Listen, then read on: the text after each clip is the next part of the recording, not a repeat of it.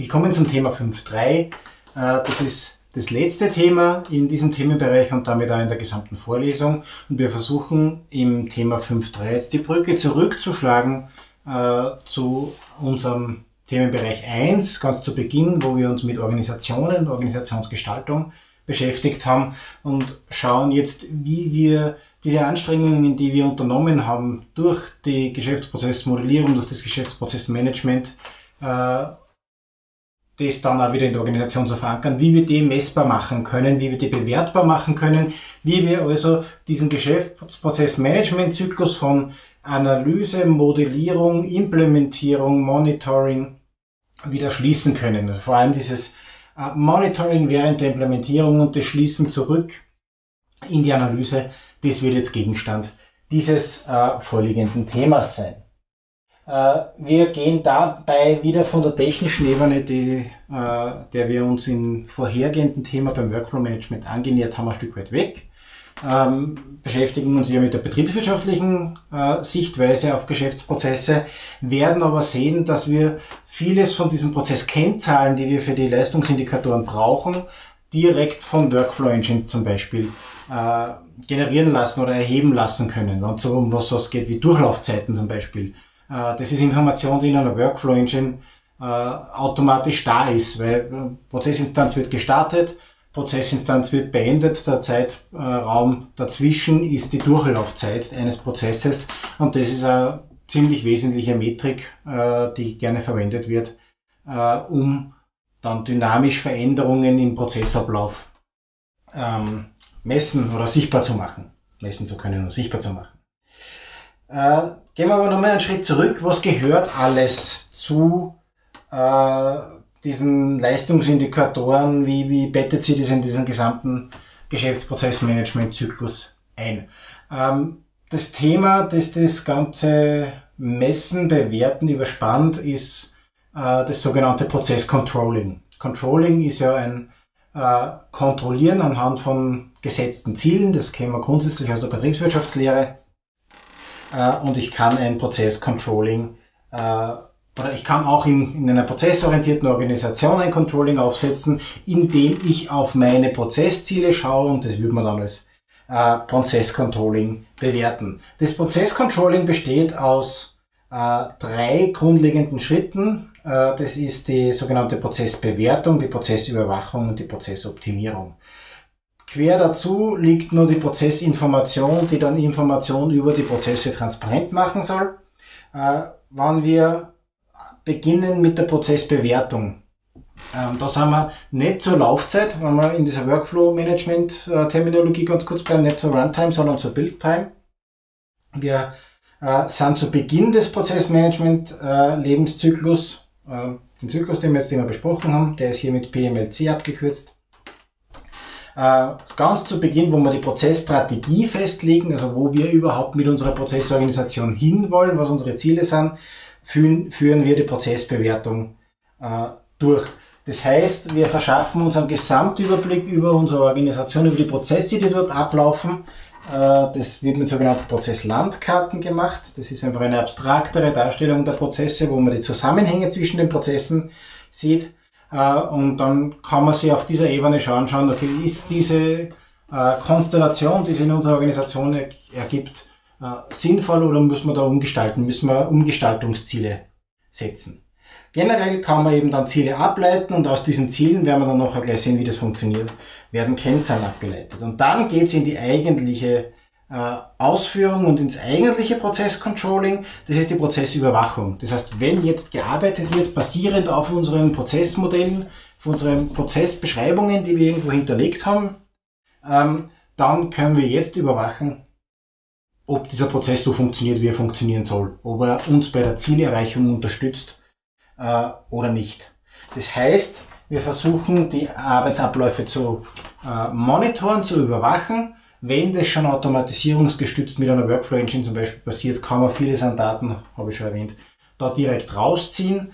Äh, wenn es so eine Automatisierungsunterstützung nicht gibt, dann braucht man ein manuelles Prozessreporting. Das wird halt dann sehr schnell sehr aufwendig. Ähm, wenn ich aber diese Prozesskennzahlen erheben möchte, dann bleibt es nicht aus, dann muss ich mir diese Information irgendwo herholen.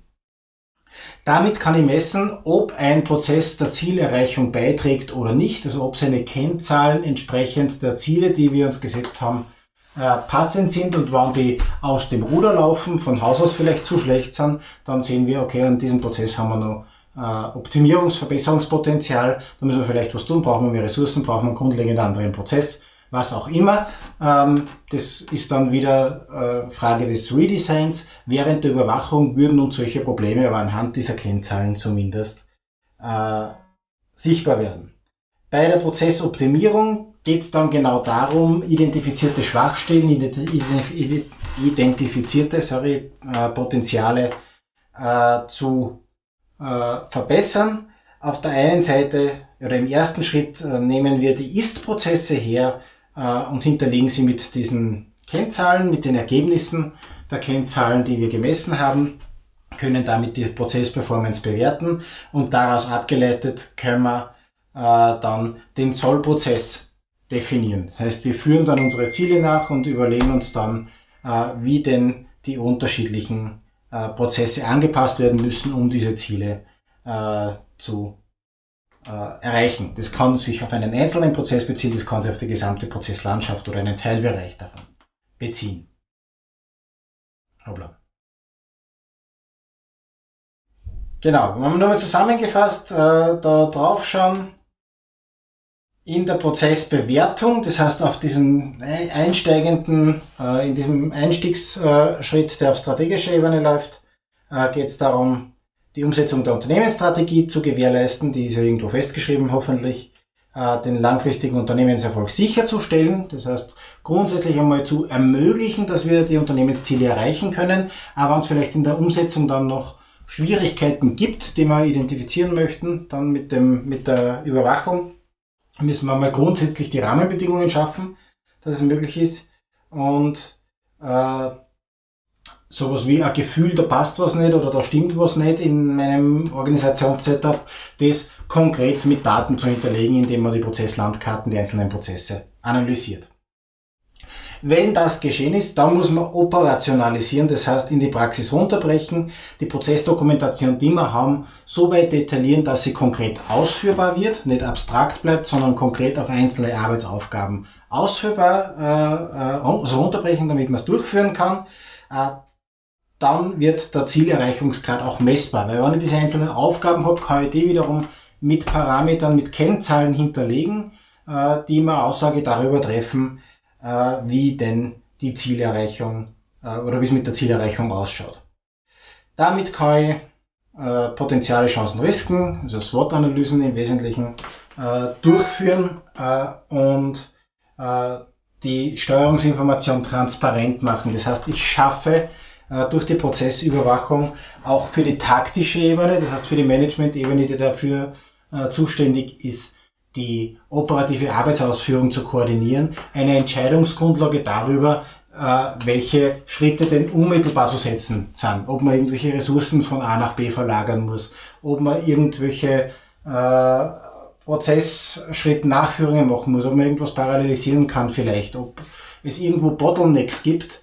Ähm, das wird durch die Prozessüberwachung sichtbar und man kann unmittelbar gegensteuern. Man weiß genau, hoffentlich, wenn das ordentlich aufgesetzt ist, an welcher Stelle im Prozess es hakt und äh, wo man intervenieren kann, um das Problem zu beheben. Ähm, fördert damit auch die Kommunikation über den Prozess hinweg und zwischen den involvierten Akteuren äh, und verankert sowas wie dieses Prozessdenken, das Denken in zielgerichteten Abläufen in der Unternehmenskultur. Für die Prozessoptimierung müssen wir aus der Überwachung heraus die Entscheidungsgrundlagen etablieren. Das heißt, wir müssen wahrscheinlich die Kennzahlen so weit aggregieren, damit sichtbar wird, okay, wo ist Handlungsbedarf, äh, können dann auf Basis der identifizierten Schwachstellen und Potenziale äh, durch äh, entsprechende Gestaltung der Sollprozesse die Effizienz und Effektivität der Organisation steigern und schaffen eine Grundlage für ein Benchmarking. Benchmarking, also ein Vergleich mit Marktbegleitern zum Beispiel, intern wie extern. Also extern wäre mit Marktbegleitern, intern wäre mit anderen Abteilungen, so dass man auch sehen kann, okay, ein Prozessteam performt, performt besonders gut, irgendwo gibt es Schwierigkeiten, woran liegt es, da kann man dann genauer reinschauen. Auch das kann ich nur machen, wenn ich die Vergleichsgrundlage habe.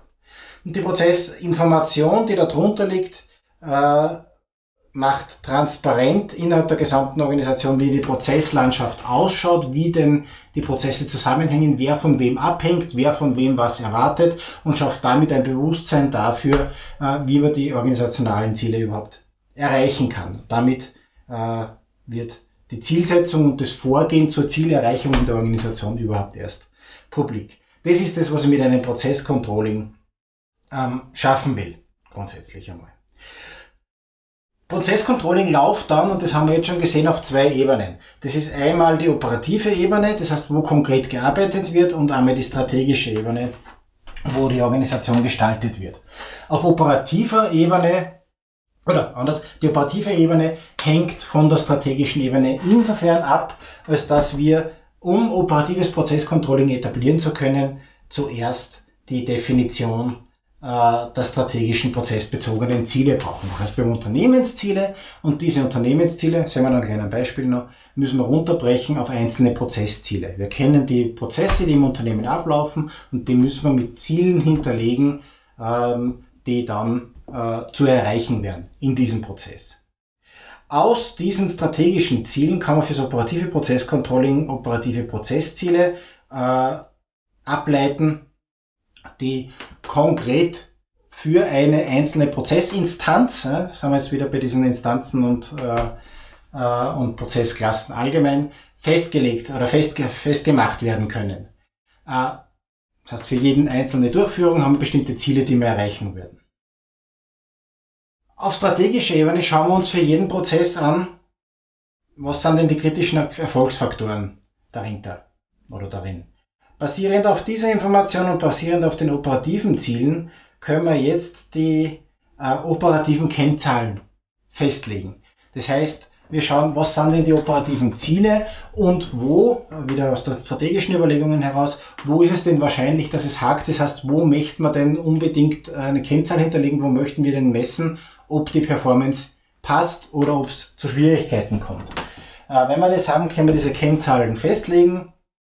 Äh, und die dann äh, im laufenden Betrieb erheben, sei es automationsgestützt, sei es äh, manuell. Das ist also diese laufende Performance-Evaluierung. Und aus diesen laufenden Performance-Evaluierungen können wir wiederum äh, strategische Leistungslücken identifizieren. Das heißt, äh, aus der Performance-Evaluierung sehen wir auf der einen Seite schon, wenn es äh, stellenspezifisch zum Beispiel zu Schwierigkeiten kommt. Jemand ist überlastet, äh, jemand äh, kann nicht mit voller Kraft arbeiten, wer vielleicht erkrankt ist, äh, ähm, was auch immer. Das ist kein strategisches Problem. Das ist ein operatives Problem, das man durch taktische Maßnahmen lösen kann, indem man zusätzliche Ressourcen äh, zur Verfügung stellt, indem man Aufgaben umschichtet.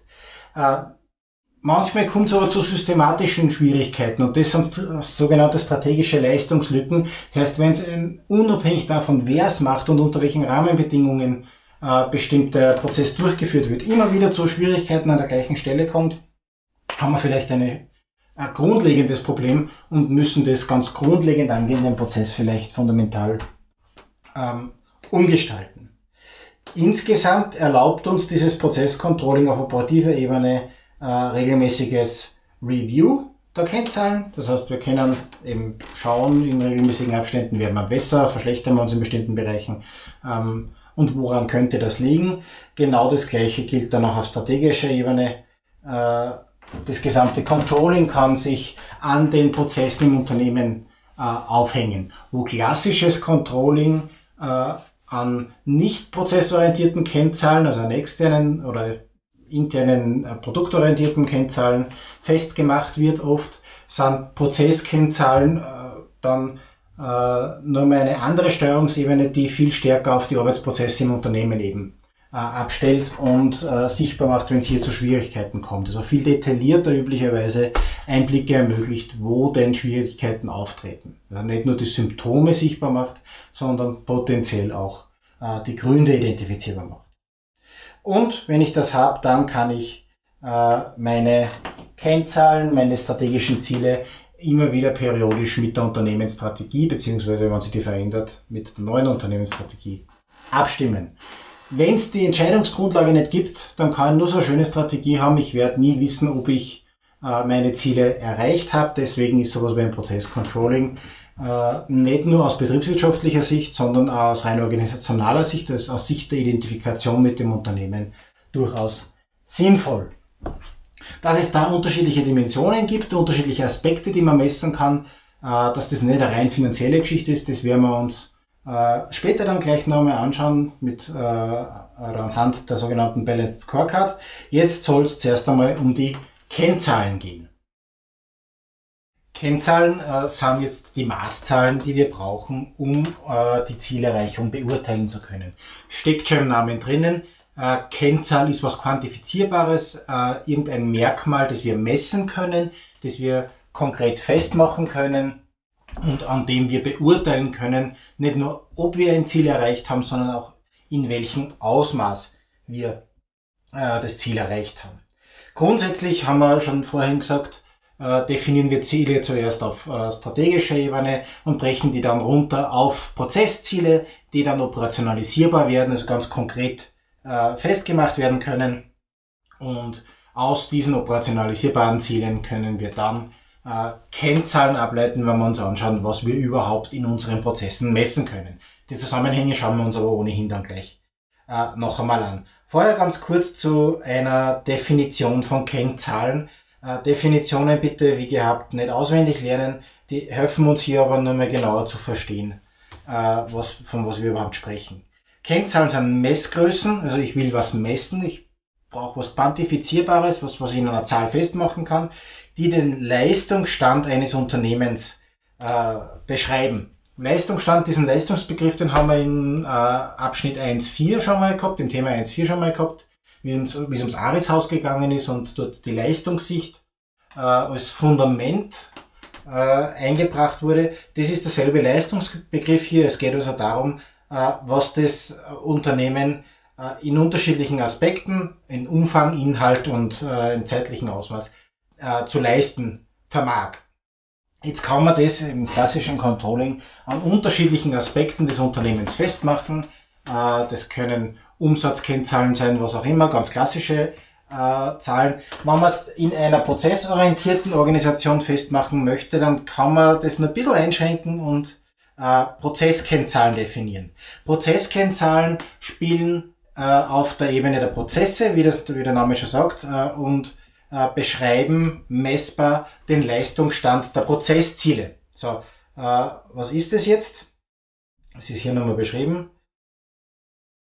Heißt, äh, Prozesskennzahlen wir äh, so fest, dass sie äh, Informationen uns geben, wie der Prozess aktuell realisiert ist und ob er effizient, effektiv ist und wie man steuern können. Dieser Effizienzbegriff, da geht es um den Ressourceneinsatz, also setzen wir die verwendeten Ressourcen effizient ein. Effektivität geht auf die Prozessziele, also erreichen wir mit diesem Ressourceneinsatz tatsächlich unsere Ziele. Äh, und diese Steuerungsdimension fügt dann noch hinzu, dass wir ja, sorry, dass wir auf taktischer Ebene, das heißt auf Ebene äh, des Managements der operativen Arbeitsprozesse vielleicht nur steuernd eingreifen wollen, Ressourcen verschieben wollen, Ressourcen anders zuweisen wollen, Aufgaben verschieben wollen. Äh, und auch dafür braucht's Kennzahlen, die uns dabei helfen zu verstehen, äh, wo wir denn konkret im Unternehmen gerade stehen. Äh, dementsprechend sollen die Werte, die wir da visualisieren, die wir da erheben, Aufschluss darüber geben, in welcher Form der Prozess, den wir gerade betrachten, zu dem die Kennzahlen gehören, der Zielerreichung des Unternehmens zuträglich ist, in welchem Ausmaß und in welchem Umfang der da beiträgt. Wichtig ist, dass das nicht rein finanzielle Kennzahlen sein müssen. Ähm, da gibt's die sogenannten harten Kennzahlen, das sind unter anderem die finanziellen Auswertungen, das sind irgendwelche Durchlaufzeiten, Sachen, die man ganz exakt messen kann. Äh, in einem modernen Kennzahlensystem nimmt man aber üblicherweise auch weiche, sogenannte weiche Kennzahlen mit auf, weiche Faktoren, äh, die vielleicht nicht ganz exakt messbar sind, die aber einen wesentlichen Beitrag zum Unternehmenserfolg äh, leisten. Sofern ich es irgendwie messbar machen kann, sofern ich es mit konkreten Kennzahlen hinterlegen kann, wir schauen uns dann gleich ein Beispiel an, Konflikt- und Ressourcenmanagement zum Beispiel oder die Prozesskultur, also wie stark dieses Prozessdenken im Unternehmen verankert ist. Genau. Ähm, insgesamt muss ich mich jetzt, äh, um in meinem Unternehmen sowas wie ein Prozesscontrolling etablieren zu können, mir ein Kennzahlensystem zurechtlegen. Dieses Kennzahlensystem leitet sie aus unterschiedlichen Aspekten ab oder steht im Zusammenhang mit unterschiedlichen Aspekten, nämlich der Strategie, haben wir vorher schon gesagt, äh, den Prozessen, den Prozesszielen und dann letztendlich aus dem abgeleitet die Kennzahlen. Wenn wir jetzt äh, auf diese Grafik schauen, die visualisiert das ganz gut. Wir haben also unsere äh, strategischen Ziele, die liegen da irgendwo drüber. Aus denen abgeleitet gibt's dann unsere Prozessziele. Der steht drüber und dieses Prozessziel äh, wird realisiert hoffentlich durch den Prozess, den wir dann ausführen. Und an der Kennzahl, die wir uns dann überlegen, oder an den Kennzahlen, die wir uns überlegen, erkennen wir, wie weit wir in der Zielerreichung schon sind, also wie äh, stark der Erreichungsgrad bereits gegeben ist.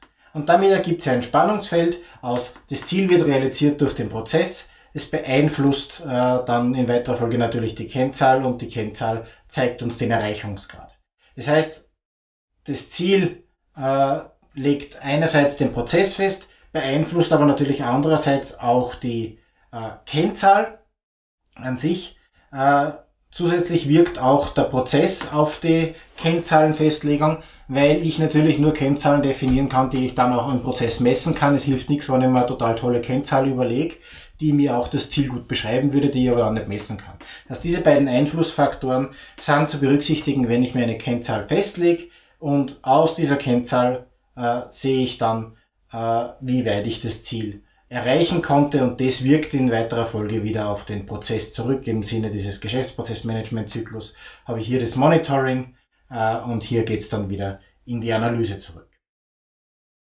Genau. Ähm, jetzt stehen die einzelnen Kennzahlen aber ja nicht auf der grünen Wiese. Wir haben gesagt, äh, das Ganze ist eingebettet in ein Kennzahlensystem, die an den einzelnen Prozessen im Unternehmen verankert sind und drüber liegen die strategischen Ziele. Das heißt, äh, wenn wir uns jetzt hier äh, dieses Beispiel anschauen, wir könnten ein strategisches Ziel haben, nämlich eine höhere Ertragskraft mit unserem Unternehmen zu erzielen. Diese höhere Ertragskraft können wir messen, indem wir uns das Betriebsergebnis anschauen, das wäre also hier die Kennzahl, und wir nehmen an, äh, dass der organisationale Entwicklungsprozess, also wir machen eine Organisationsentwicklung, wir haben einen Prozess im Unternehmen, äh, mit dem wir die Organisation weiterentwickeln wollen, dass der dazu beiträgt, äh, dieses strategische Ziel zu erreichen. Äh, jetzt wirkt der aber wahrscheinlich nicht unmittelbar wertschöpfend, so ein Organisationsentwicklungsprozess, sondern nur indirekt mittelbar über andere Prozesse, die zur Wertschöpfung beitragen. Wir erinnern uns vielleicht an das Thema 1, 1, 2 oder so, was ist eine Organisation? äh, irgendwo in diesem Bereich, da haben wir gesprochen über äh, Supportprozesse und Kernprozesse. Kernprozesse sind die, die unmittelbar wertschöpfend sind, die also so das Betriebsergebnis steigern. Ähm, Unterstützungsprozesse oder Supportprozesse sind die, die die Kernprozesse erst ermöglichen, die also unterstützen, unmittelbar aber keinen Beitrag, keinen direkten Beitrag zur Wertschöpfung leisten. Für diese höhere Ertragskraft identifizieren wir jetzt den Einflussfaktor, nämlich äh, unseren Hauptprozess Marketing und Vertrieb.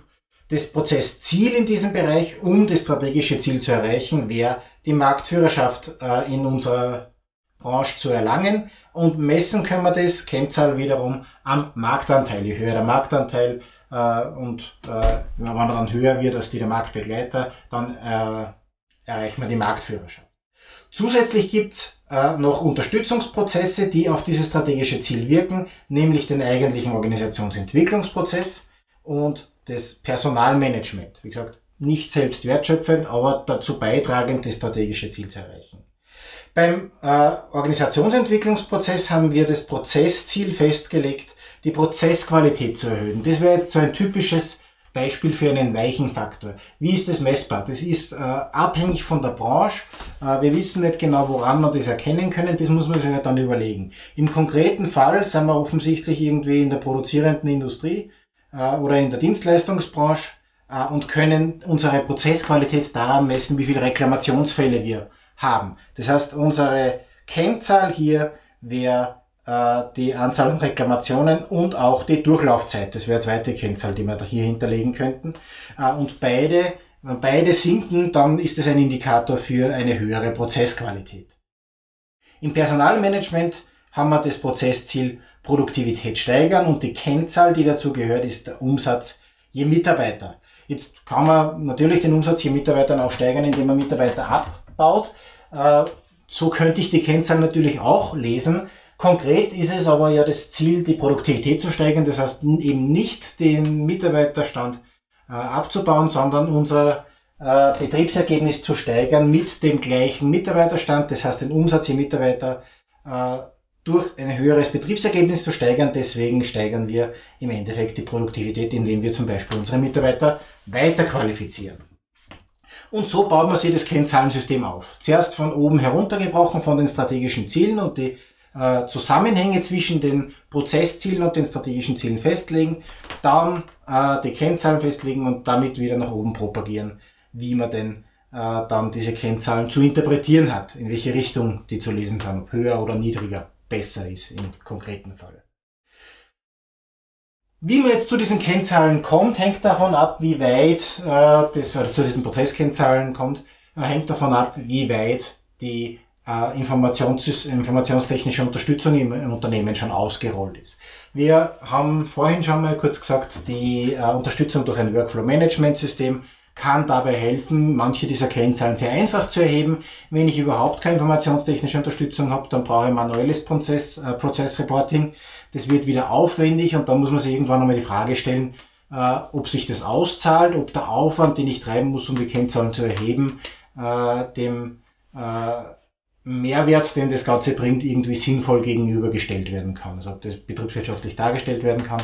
Ähm, wenn das nicht der Fall ist, dann muss man entweder überlegen, ob man nicht äh, eine Möglichkeit findet, die Kennzahlen äh, irgendwie automatisiert zu erheben oder ob man das Controlling nicht dann doch wieder auf andere Beine stellt, auf, mit Kennzahlen, die einfacher zu erheben sind. Wir gehen aber jetzt damit davon aus, dass wir sowas wie ein Workflow-Management-System haben und schauen uns ganz kurz an, wie die IT-gestützte Kennzahlenerhebung grundsätzlich funktionieren kann. Im Workflow-Management haben wir vorher schon besprochen, ähm, dass wir äh, konkrete Prozessinstanzen in diesen Workflow-Engines ausführen. Diese Prozessinstanzen werden ja direkt von unseren Prozessdefinitionen, von unseren Prozessmodellen abgeleitet, die werden instanziert dann konkret ab, äh, ausgeführt. Und an diesen ausgeführten Instanzen kann man jetzt natürlich äh, diverse Parameter direkt messen. Sowas wie Durchlaufzeiten, äh, sowas äh, wie Anzahl der äh, abgearbeiteten Instanzen an einer bestimmten Stelle im Unternehmen. Ähm, sowas äh, wie ähm, einzelne Aktivitäts äh, also die Dauer einzelner Aktivitäten, die Datenqualität, die ich dadurch generiere, die Anzahl von Rückfragen, äh, die generiert wird, die Anzahl von Eskalationen, die vielleicht im Prozessmodell ausgelöst werden. Das alles kann ich automatisiert messen, wenn ich entsprechende Prozessmodelle und entsprechende IT-Unterstützung habe. Ähm, das heißt, um äh, das Controlling zu etablieren, werden wir einen Ansatz versuchen zu fahren, der folgende Stufen äh, umfasst. Das ist einmal die Kennzahlenerhebung direkt aus den Workflow Engines, also hier zum Beispiel, dann aus anderen operativen Systemen, die vielleicht Daten hergeben, sowas wie äh, Lagerverwaltungen, wo den Lagerstand halten kann. Auch das können Prozesskennzahlen sein, ja, die Veränderung des Lagerstands über die Zeit. Oder eben äh, für die Prozessteile, die nicht automatisierungsgestützt sind, irgendwelche manuellen Erfassungsmethoden. Die gehen in unseren Datenbestand und aus dem können wir dann äh, die Auswertung fahren. Aggregation heißt in dem Sinne äh, Sammlung, vielleicht auch Zusammenführung einzelner Parameter, die man vielleicht konsolidieren möchte, die man zusammenführen möchte, äh, um dann in einer Maßzahl festzulegen, äh, was eine bestimmte Kennzahl bedeutet.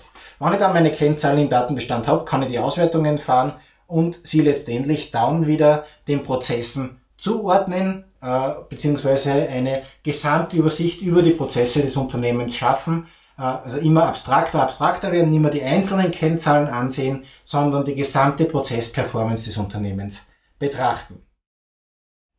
Wenn wir das jetzt etwas äh, konkreter nochmal anschauen, dann haben wir irgendwo ganz unten unsere Ausführungsumgebungen. Die Runtime Environments, das wären jetzt die Workflow Engines, in denen konkrete Prozessinstanzen Instanzen laufen. Da gibt es unterschiedliche Datenquellen, die wir anzapfen können, irgendwelche Datenbanken, so wie wir es vorher gerade gehabt haben. Ähm, Datenbanken, operative Systeme, Workflow-Instrumente. Und die Daten, die wir dort finden, können direkt den operativen Prozessinstanzen zugewiesen werden. Das heißt, wir wissen, äh, wo die Daten dazugehören und können dadurch im Prozess verankert. Vorher haben wir im Prozess die Kennzahlen definiert. Jetzt können wir diese Kennzahlen direkt in den Workflow-Instanzen messen, können also aus diesen Daten auf operationeller Ebene äh, die Kennzahlen einmal berechnen. So, dann haben wir mal für jeden einzelnen, für jede einzelne Prozessinstanz äh, konkrete Kennzahlen festgelegt. Also wir wissen jetzt, die erste Prozessinstanz hat so lange dauert, die zweite hat so lange dauert, die dritte hat so lange dauert. Dann kommt zu einer Aggregation auf der sogenannten taktischen Ebene, wenn also jemand äh, jetzt anschauen möchte, wie gut funktioniert denn ein bestimmter Prozess, gerade bei uns im Unternehmen, nicht eine einzelne Prozessinstanz, sondern äh, generell der Supportprozess zum Beispiel, äh, wenn Kunden anrufen, äh, wie stehen wir da da. Man wird also jetzt die Kennzahlen, die für die einzelnen Prozessinstanzen erhoben worden sind, aggregieren. Das ist hier eine 1 zu N Aggregation, das heißt, die Daten aller N Prozessinstanzen, die ausgeführt wurden, werden jetzt auf eine Datenbasis zusammengeführt äh, und in dem Prozessmodell für diesen Prozesstyp hinterlegt. Das heißt, ich sehe jetzt zum Beispiel sowas wie eine durchschnittliche Durchlaufzeit eine durchschnittliche Wartezeit an bestimmten Stellen im Prozess. Sowas kann ich mir da jetzt anschauen und würde zum Beispiel sowas wie Bottlenecks erkennen. Wenn wir jetzt an dieser Stelle sehen, okay, bei der einen Aktivität kommt es in 90 Prozent der Fälle zu einer Verzögerung von 15 Minuten, dann haben wir hier wahrscheinlich ein Problem. Das würden wir auf dieser Aggregationsebene sehen. Genau dasselbe kann ich für alle meine anderen Prozesse machen und kann also hier auf taktischer Ebene steuernd eingreifen. Das haben wir vorher gemeint mit äh, Steuerungsdimensionen des äh, operativen Controllings. Also ich würde hier Probleme erkennen und kann dann sowas wie eine Ressourcenumschichtung äh, zum Beispiel vornehmen, ähm, detaillierte Prozessveränderung oder Prozessveränderung an bestimmten Details vornehmen, dass es zu diesen Bottlenecks oder zu diesen Schwierigkeiten nicht mehr kommt. Über alle Prozesse hinweg, nochmals aggregiert, kommen wir dann auf die strategische Ebene. Jetzt kommen wir zu den strategischen Prozessziel oder zu den strategischen Zielen des Unternehmens, nicht zu den Prozesszielen, sondern zu den strategischen Zielen des Unternehmens, die ja ebenfalls mit Kennzahlen hinterlegt sind und die wir aus unseren Prozesskennzahlen wieder zusammenführen können. Das heißt, wir würden uns jetzt zum Beispiel hier anschauen, in wie vielen Fällen kommt es in unserer Prozesslandschaft zu Ausnahmebehandlungen. Unabhängig von welcher Prozess das ist, wo laufen die Prozesse nicht so, wie sie laufen sollten. Je höher diese Maßzahl ist, desto gering ist vielleicht unsere Prozessqualität oder desto weniger adäquat sind unsere Prozessmodelle und wir müssen vielleicht was tun. Ähm, wie so ein Kennzahlensystem auf dieser obersten Ebene aussehen kann, schauen wir uns jetzt im nächsten Schritt gleich an. Äh, üblicherweise äh, haben wir hier einerseits ein, eine globale Sichtweise, andererseits nur mal aggregiert auf einzelne, äh, auf, auf, für die Gesamtprozesse, Prozess 1 bis Prozess N hier, äh, auf einzelne Kennzahlen heruntergebrochen, wie dieser Prozess performt. Wo wir also hier auf taktischer Ebene noch in den Prozess reinschauen, schauen wir hier nur noch auf die Prozesse als Ganzes oder sogar nur Ebene drüber auf die Performance des Unternehmens als Ganzes. Das ist jetzt hier nur mal beschrieben und dann geht's jetzt auf diese oberste Ebene, auf diese strategischen Führungselemente, auf die sogenannte Balanced Scorecard. Ähm, auf strategischer Ebene gibt's unterschiedliche Controlling-Instrumente. Für das gibt's einen eigenen Schwerpunkt im Studium. Da bin ich ja jetzt äh, kein Experte. Was wir hier herausgreifen, ist die sogenannte Balanced Scorecard. Kommt aus den 90er Jahren. Ähm, äh, aus dem Performance Management, wo versucht worden ist, äh, Unternehmensbewertung oder, oder Kennzahlensysteme nicht mehr rein an den klassischen harten Dimensionen, sowas wie der finanziellen Dimension eben festzumachen, sondern äh, eine mehrdimensionale Betrachtung einer Organisation zu ermöglichen. Die Balanced Scorecard, das B ist der Programm, geht davon aus, dass man diese unterschiedlichen Dimensionen ausbalancieren möchte, dass man also nicht rein die finanziellen Kennzahlen des Unternehmens äh, optimiert, sondern dass man auch sowas wie die Kundenzufriedenheit, sowas wie die Entwicklungsmöglichkeiten für die Mitarbeiter oder die Prozessqualität im Unternehmen äh, mit betrachtet. Äh, dadurch, dass das eine sehr abstrakte Steuerungsmaßnahme ist, auf der obersten Ebene der Unternehmensführung, äh, wird man da sehr stark aggregieren. Das heißt, äh, man versucht in jeder Dimension, ähm, oder nicht in jeder Dimension, insgesamt nicht recht für mehr wie 10 bis 15 Ziele äh, und dementsprechend auch wenig Kennzahlen zu verwenden. Das heißt, es wird sehr stark aggregiert.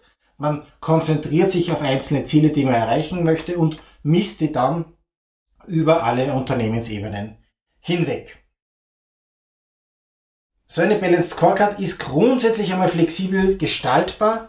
Äh, also welche Dimensionen man dahinter legt, das ist, äh, liegt am, am Gestalter. Es gibt aber vier Standarddimensionen, die üblicherweise verankert werden. Das ist die Finanzdimension, das wäre jetzt die klassische Controlling-Perspektive, das wäre die Kundenperspektive, das wäre die Prozessperspektive nach innen und das wäre die Lern- und Entwicklungsperspektive. Da geht es ums Personal, um die Menschen, die in meiner Organisation äh, tätig sind.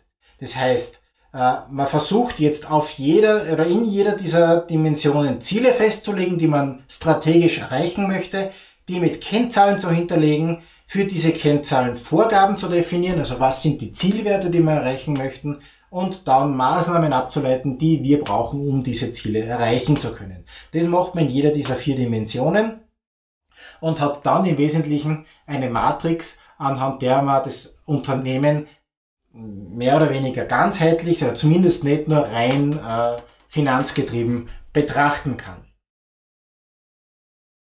Damit geht es eben nicht nur um die kurzfristige, das ist vielleicht wichtig hier noch, nicht nur um die kurzfristige äh, Finanzoptimierung zum Beispiel, sondern um eine langfristige Perspektive, die vor allem da äh, mit den anderen drei Dimensionen der Lern- und Entwicklungsperspektive, der Prozessperspektive und der Kundenperspektive abgedeckt werden.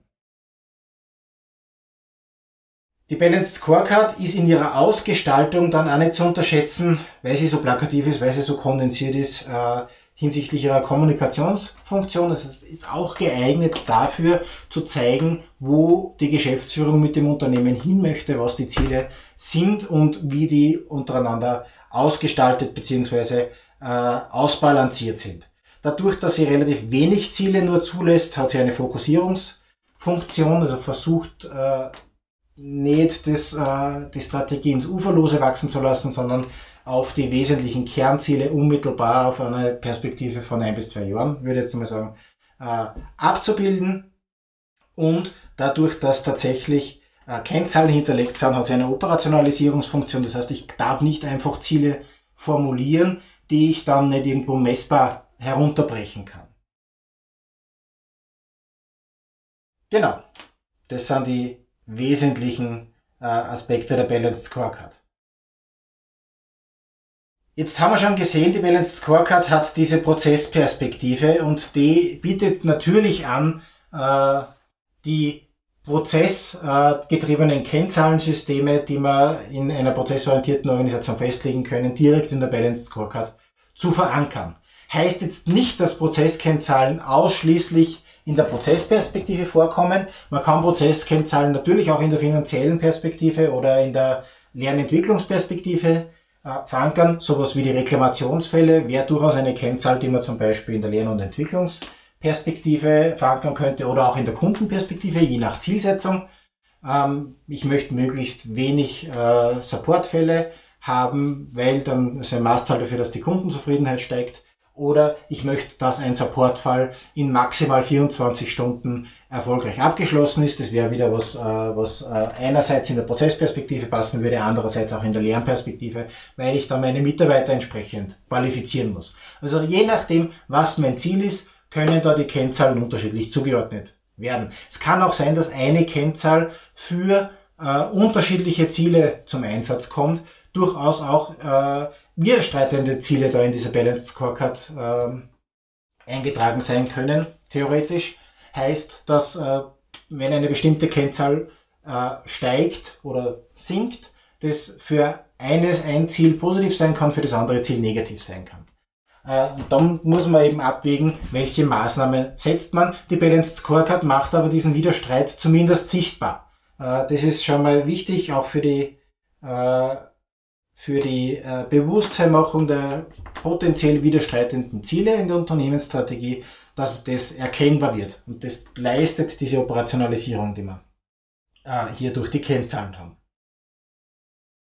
Was man dann machen kann, ist über die unterschiedlichen Unternehmensebenen, also von strategisch über taktisch operativ, äh, sowas wie ein Drill Down äh, zu machen. Das heißt, ich habe sowohl den Prozessüberblick auf strategischer Ebene hier ganz heroben, ähm, über die einzelnen Kennzahlen auf Prozessebene, auf taktischer Ebene bis runter zu den konkreten Prozessinstanzkennzahlen, die wir auf operationaler Ebene haben. Und ich kann mich dann, wenn die Zuordnung im System, in so einem Unterstützungscontrolling-System entsprechend hinterlegt ist, da durchhandeln, kann äh, schauen, äh, okay, hier gibt's offensichtlich ein Problem, da ist ein Indikator vielleicht rot geworden, weil er außerhalb der festgelegten Rahmen sich bewegt und dann gehe ich da weiter ins Detail und schaue mir an, woran liegt denn das vielleicht. Äh, bis runter vielleicht auf operativer Ebene und schaue mir an, liegt es jetzt nur daran, weil ein Mitarbeiter krank geworden ist, also muss ich vielleicht äh, gar nicht groß äh, intervenieren, sondern reicht es da abzuwarten, bis der wieder gesund geworden ist und wir haben wieder die äh, üblichen Leistungsparameter oder die üblichen Ressourcen zur Verfügung bis hin zu, okay, da haben wir wahrscheinlich ein systematisches Problem, da müssten wir vielleicht irgendwo mal dann intervenieren. Genau das, was ich jetzt beschrieben habe, ist da noch im, äh, äh, in diesem Beispiel, das da ganz zum Schluss noch drinnen ist, hinterlegt.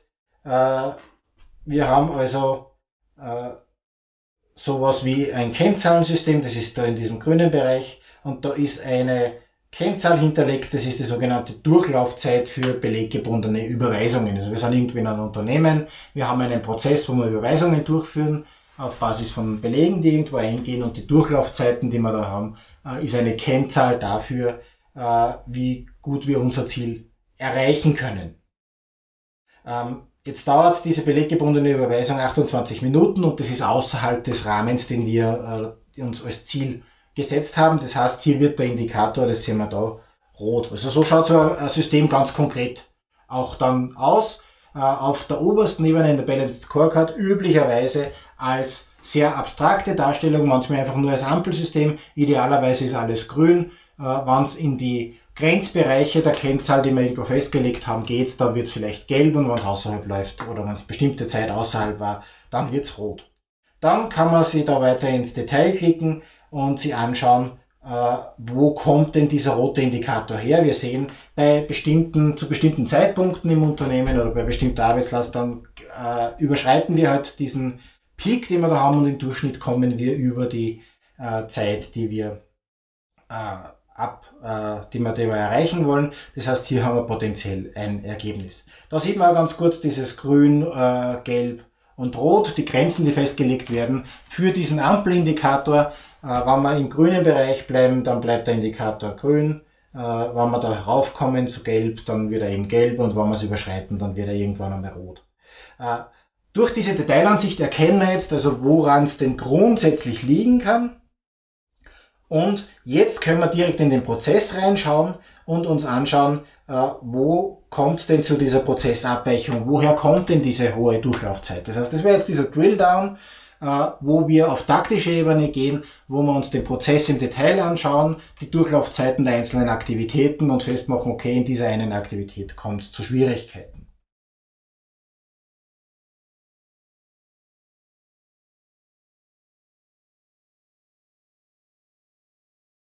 Damit äh, äh, erkennen wir jetzt quasi, wo das Problem im Prozess liegt. Jetzt gehen wir wieder auf die einzelnen Prozesskennzahlen und erkennen, okay, an dieser detaillierten Prozesskennzahl, da kommt es offensichtlich öfter zu Überschreitungen, die dann durch schnellere Abarbeitung anderer Aktivitäten vielleicht auch nicht mehr kompensiert werden können.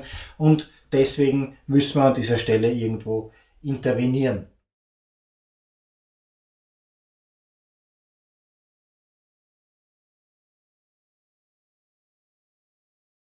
So, und im letzten Schritt äh, haben wir jetzt das sogenannte, oder schauen wir jetzt wieder in das gesamte Prozess-Cockpit, also dieses Controlling-Instrument würde man jetzt ein Prozess-Cockpit nennen, wo ich also meine Prozesskennzahlen konsolidiert habe. Äh, und kann man damit wieder äh, zurückspiegeln, wo denn die Kennzahl, die da als äh, den, das Problem verursachend äh, identifiziert habe, äh, in meiner Prozesslandschaft zu verorten ist. Wir kommen dann drauf in der Risikobewertung. Das heißt, äh, meine Belege gehen nicht schnell genug raus, weil die Risikobewertung zu lange dauert. Und jetzt könnte ich also wieder schauen, wo ich in der Risikobewertung drehen kann, dass das schneller läuft, sodass meine Kennzahl wieder in den grünen Bereich kommt. Genau. Lassen wir an dieser Stelle einmal so. Insgesamt äh, sieht man, damit das funktionieren kann, das ist natürlich jetzt eine Idealvorstellung, damit das funktionieren kann, brauche ich erstens eine vollständige IT-Unterstützung, die beruht darauf, dass ich meine Prozesse vollständig kenne, dass meine Prozesse tatsächlich äh, den Arbeitsprozessen im Unternehmen entsprechen, sodass nicht zu irgendwelchen Workarounds kommt, die mir dann meine Kennzahlen wieder ähm, äh, verfälschen und eine Zuordnung sämtlicher Kennzahlen über alle Ebenen auf die einzelne Prozessebene. Das ist jetzt natürlich äh, fürchterlich schwierig und die Frage ist, ob sie der Aufwand äh, auch wirklich immer dafür steht. Das ist nicht immer der Fall. Da muss man halt dann abwägen, wie weit man dieses äh, Kennzahlenspiel treiben möchte.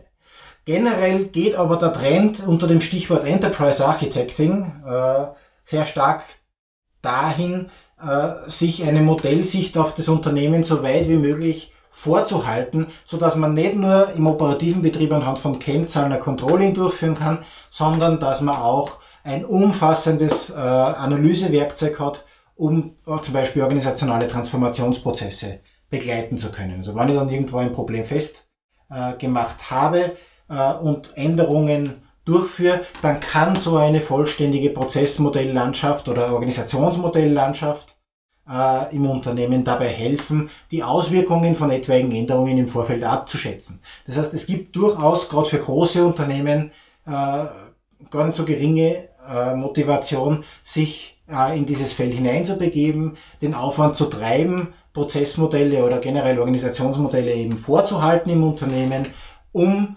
einerseits ein Steuerungsinstrument, ein strategisches Controlling-Instrument und andererseits ein Change-Management-Werkzeug zu bekommen.